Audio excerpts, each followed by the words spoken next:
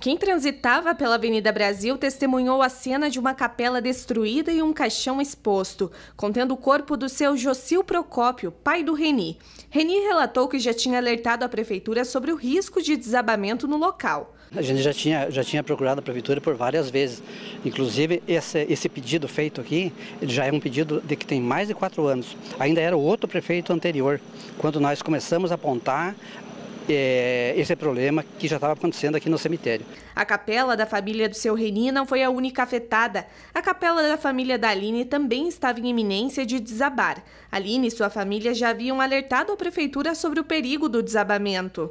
Aproximadamente um ano e meio, esse muro já começou a cair. A gente já fez vários protocolos na prefeitura. Foram feitos três protocolos pedindo para eles virem resolver.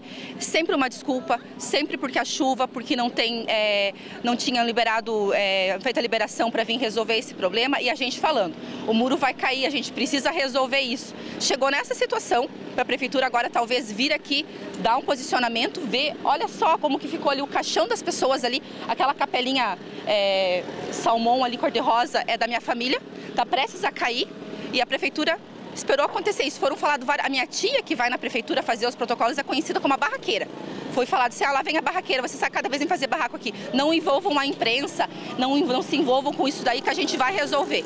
E agora?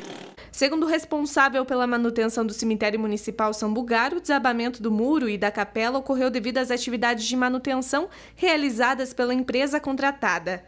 A empresa foi expedido o empenho em mês de fevereiro. Portanto, eles vieram hoje. Então a gente já estava preocupado com essa situação e não desmoronou sozinho. Se a máquina estava fazendo a retirada das pedras e dos entulhos para começar a obra e desmoronou. E a gente vai achar uma solução com as famílias, tudo. É conversando, a gente tem que achar solução para os problemas. Então as famílias também, elas vão ter o respaldo e a gente vai ver através do município para achar solução para as famílias. O Depatran e as máquinas da prefeitura estiveram no local para remover os escombros do desabamento.